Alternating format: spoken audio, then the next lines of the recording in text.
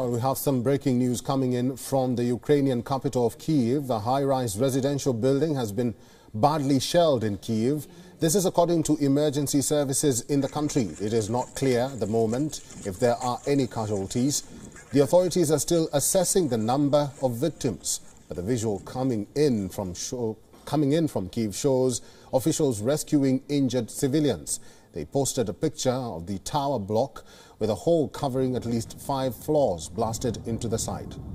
This comes after Russian Foreign Minister Sergei Lavrov said that Kremlin's military operations will not target civilian infrastructures.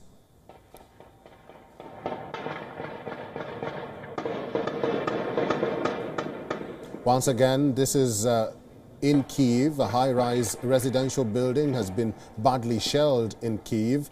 This is according to emergency services in the country. It is not clear at the moment if there are any casualties. The authorities are still assessing the number of victims, but the visuals coming in from Kiev shows officials rescuing injured civilians. They posted a picture of the tower block with a hole covering at least five floors blasted into the site.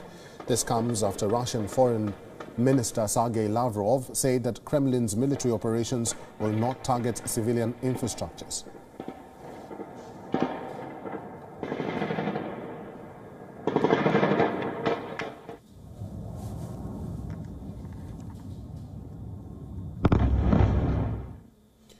While the capital city of Kiev remains on the edge, other Ukrainian cities are also battling a mounting offensive by Russian forces. The biggest development today comes with southern Ukraine. Russian news agencies say or claim that Russian forces have captured southeastern Ukrainian city of Melitopol. The fate of about 150,000 residents of Melitopol hangs in the balance. If confirmed, the fall of Melitopol would be the first significant population center seized by the Russian forces since the invasion began. Moscow has launched coordinated cruise missile and artillery strikes on several cities.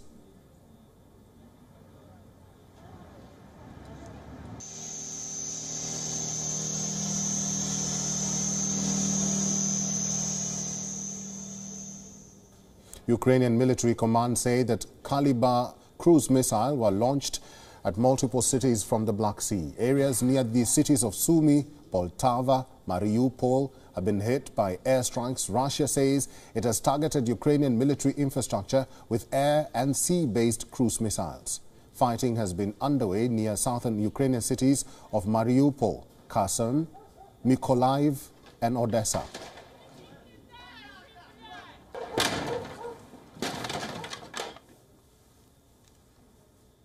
Mariupol has been witnessing a multi-pronged attack by the Russian forces. Several buildings have been destroyed in shelling.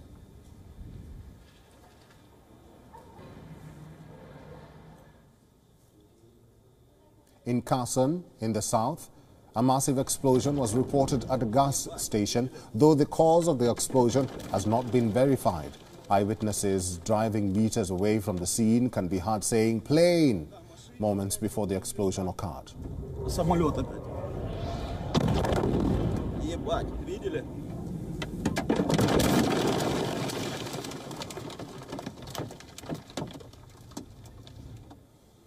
On Friday, CCTV footage showed Russian military vehicles moving in the Kherson region.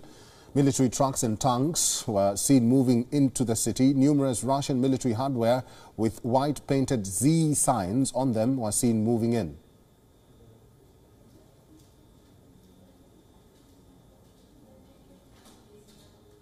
In the northern city of Chernihiv, relentless shelling sparked fire at a security service of Ukraine building. The two-story building was hit by shelling and no injuries were reported.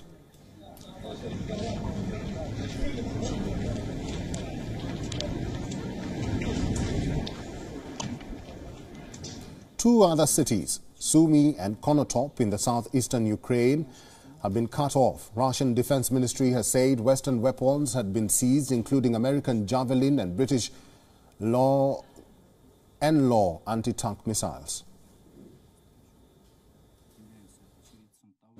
Всего российскими вооруженными силами выведено из строя 211 военных объектов инфраструктуры вооруженных сил Украины.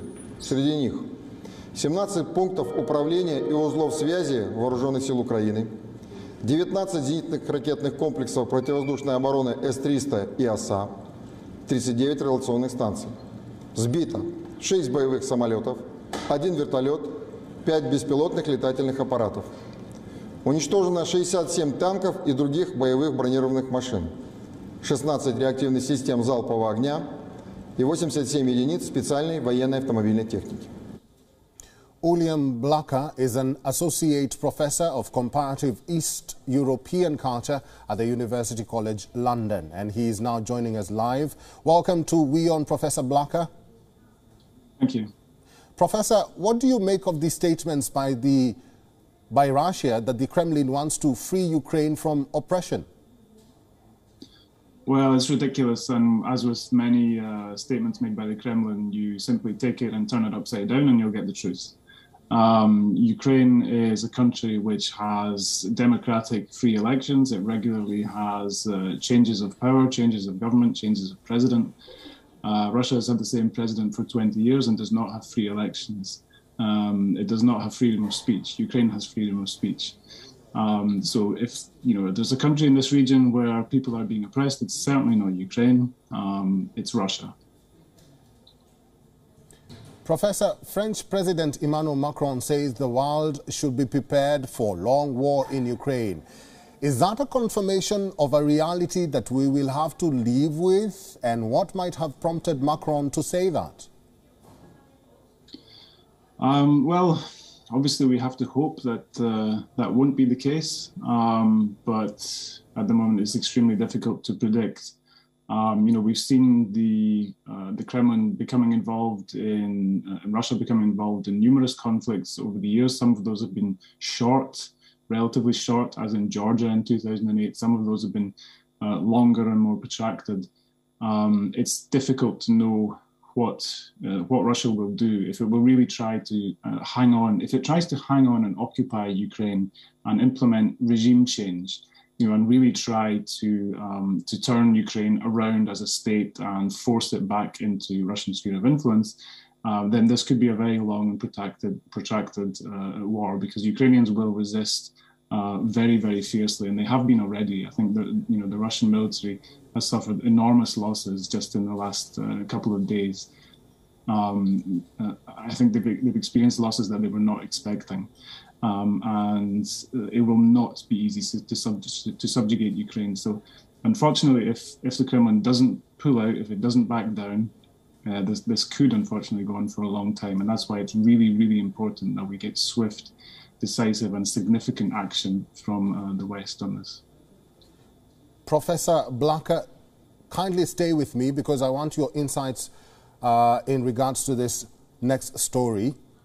Now, with tensions mounting over what lies ahead for Kiev and Zelensky government, and Ukrainian government's spokesperson has now said that Kiev and Moscow are continuing consultations regarding the place and time of a possible peace talks. In his latest Facebook post, Ukraine's spokesperson, Sergei Nikiforov, has said that Ukraine is always ready for peace talks and denied an earlier Kremlin statement that said Ukraine has rejected Russia's offer to, to negotiate. The development comes as Russian forces continue to march forward to siege the Ukrainian capital of Kiev and overturn Zelensky's government. Kremlin said earlier on Friday that it had offered to meet Ukrainian officials in the Belarusian capital of Minsk, but that Ukraine had instead proposed Warsaw as a venue. These differences unfortunately led to a pause in confirming a new place for the negotiations. Russia's military invasion has now entered its third day, with the latest reports indicating that Russian troops are heading towards the capital from several directions. Putin launched the military attack on Ukraine on Thursday, days after recognizing two separatist-held enclaves in eastern Ukraine as independent regions.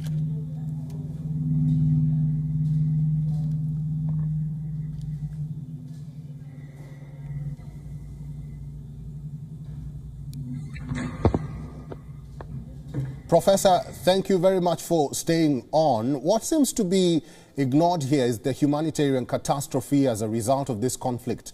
What can the world do apart from protests to rally for and even possibly save Ukrainians? Yeah, this is a great question. I think we are now seeing the development of a refugee crisis uh, in Europe. Um, it's been very heartening to see Ukraine's western neighbours open up their borders. Uh, so Poland, Slovakia, Hungary, uh, Romania, Moldova have been very quick to act to help people fleeing uh, the conflict, uh, fleeing, fleeing the Russian invasion. Um, we have to see action from the Western European countries as well, because we can't expect um, Ukraine's Western neighbors to uh, take the entire burden. You know, we could be seeing millions of refugees. I've seen estimates of, of up to 5 million. Um, this could be even uh, larger than the, the, the, the um, the migrant crisis uh, of a few years ago, when Germany took uh, uh, lots of lots of migrants from the Middle East. Um, so far, the reaction of the British government, for example, has been poor on this. Um, they've uh, they've in fact been restricting um, access to visas for Ukrainians, uh, which is the opposite of what they should be doing. They should be opening up a clear route for Ukrainian refugees to come uh, to the United Kingdom, and all Western European countries should be doing that. Um, but there are also many things that uh, the West can do that it hasn't done. You know, cutting Russia off from uh, SWIFT, uh, implementing a no-fly zone over over Ukraine. I know that's uh, our government has rejected that because it believes it would, it would draw um, NATO into uh, a conflict. But at the moment, Russian bombs are raining down in Ukrainian cities. Um, we also have to be much more severe uh, with sanctions on uh, on Russians, on Russian assets. You know what we saw at the beginning of this week, in, uh, the, uh, announced by the British government, was very small scale, very weak.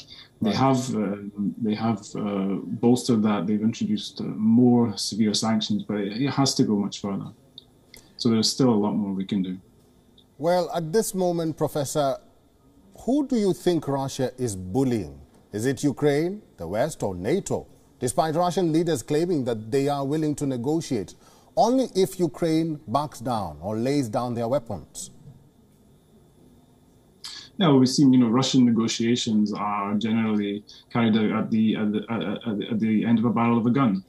You know, the, the Minsk process was uh, was begun uh, under when Ukraine was under attack, um, and Russia is trying to to do the same thing. It puts its enemy into an extremely weak position by attacking it. And then, uh, you know, when it thinks it's at its lowest point, it tries to negotiate from, from a position of uh, great strength. Uh, and I think we really we really have to recognize what's happening and do everything we can. You know, Western there, there are Western partners involved and have been Western partners involved in these processes, and they have to insist that any talks happen on Ukraine's terms and not just on Russia's terms. You know, if I were President Zelensky, I would be extremely cautious about going to Minsk. Um, you know, we've heard reports that uh, the Russian invasion force has orders to target senior public uh, people in Ukraine. The president is the most senior public person. Um, you know, I'd be very worried about my fate if I were President Zelensky, if, if I were to uh, fall into the hands of the Russians. And going to Minsk, I think, would be a, a, a great personal risk for him. Um, although he's, he has shown great bravery in staying in Ukraine despite apparently an offer to, to leave uh, from the Americans, he, he's insisted on staying. He's there, he's communicating with the people. Professor William Blacker, thank you very much for your insights and for talking to WION today. Thank you. Every war eventually boils down to numbers the number of troops, the number of battalions, artillery, armored vehicles, defense spending, all of it. This gives us a sense of what to expect, which side the odds are stacked against, and which side they are tilted to. So if we look at this in terms of numbers, how do the both or how do both Russian and Ukrainian sides compare? Now, according to the 2022 Global Firepower Index, Russia has a military spending of 61.7 billion US dollars. That's 11.4 4% of its total government spending. In comparison, Ukraine was spending 5.9 billion US dollars on its armed forces. If we speak of military manpower, Russia has 900,000 active personnel. Ukraine has 209,000. Russia has 2 million reserve personnel. Ukraine has 900,000.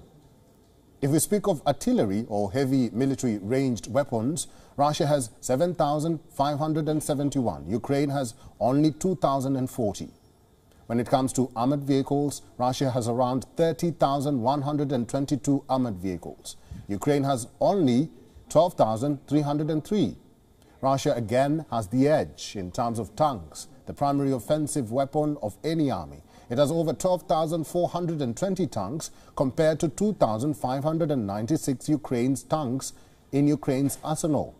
When it comes to attack helicopters, Russia has 544 of them.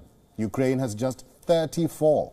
Lastly, the fighter aircraft, the most potent weapon in air-to-air -air combat. Russia again outranks Ukraine here. It has over 1,511 fighter aircrafts.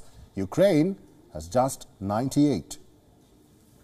WION is now available in your country. Download the app now and get all the news on the move.